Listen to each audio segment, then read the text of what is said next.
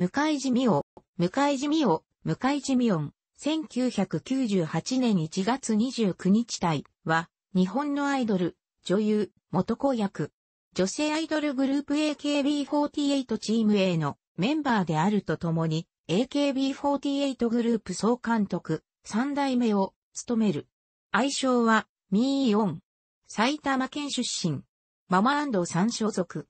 身長150センチメートル、血液型は O 型。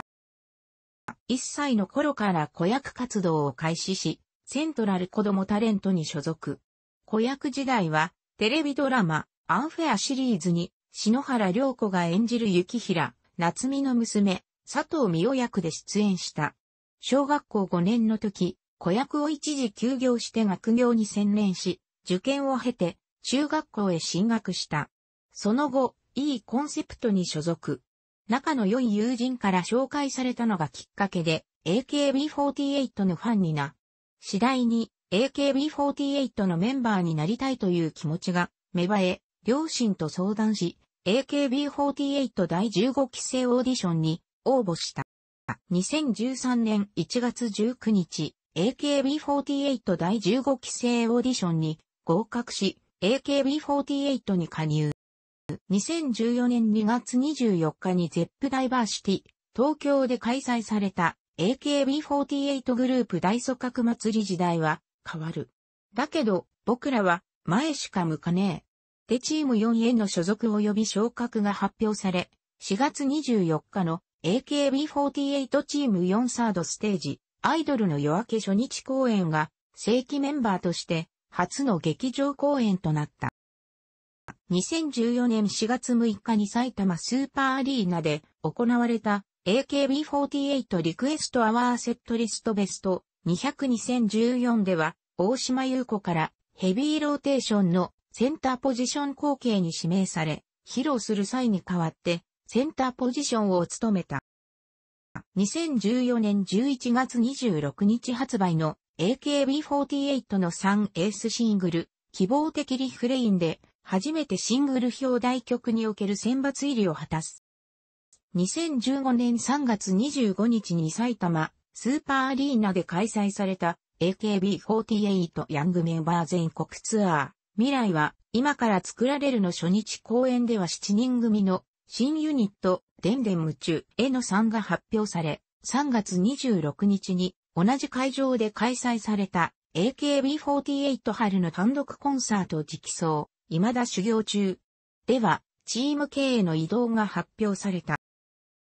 2015年の AKB48 41st シングル、選抜総選挙では44位となり、ネクストガールズに選ばれる。同年9月5日には、子役時代に出演していた、アンフェアシリーズの完結編であり、AKB48 加入後に出演した映画、アンフェア the end が全国公開された。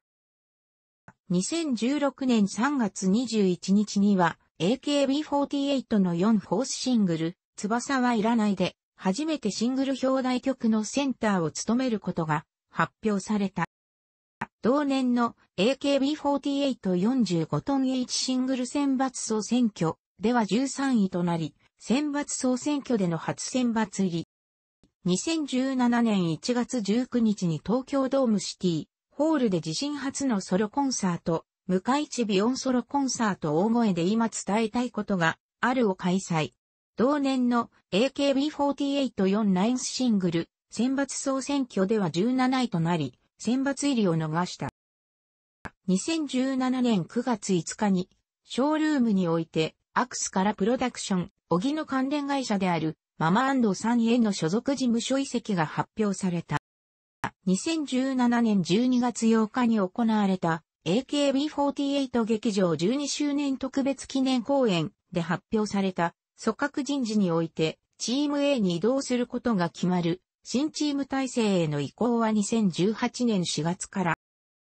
2018年3月10日に行われた AKB48 グループセンター試験において AKB48 グループメンバーの中で1位となり、上位16人によって楽曲をリリースする特別選抜のセンターとなるとが決まった。楽曲は5月30日発売の AKB48 の5セカンドシングル、ティーチャーティーチャーのカップリング曲、君は僕の風になる。2018年の AKB485 サードシングル世界選抜総選挙では13位となり、AKB48 選抜総選挙による選抜メンバーに復帰。開票イベントでのスピーチでは、将来 AKB48 グループの総監督になりたいと話した。2018年12月8日に開催された AKB48 劇場13周年特別記念公演、夜公演において AKB48 グループ総監督の横山、由依から後継の時期、三代目総監督に指名される。2019年3月19日に行われたチーム A 目撃者公演において、同年4月1日付で AKB48 グループ総監督に就任することが発表され、4月1日に就任した。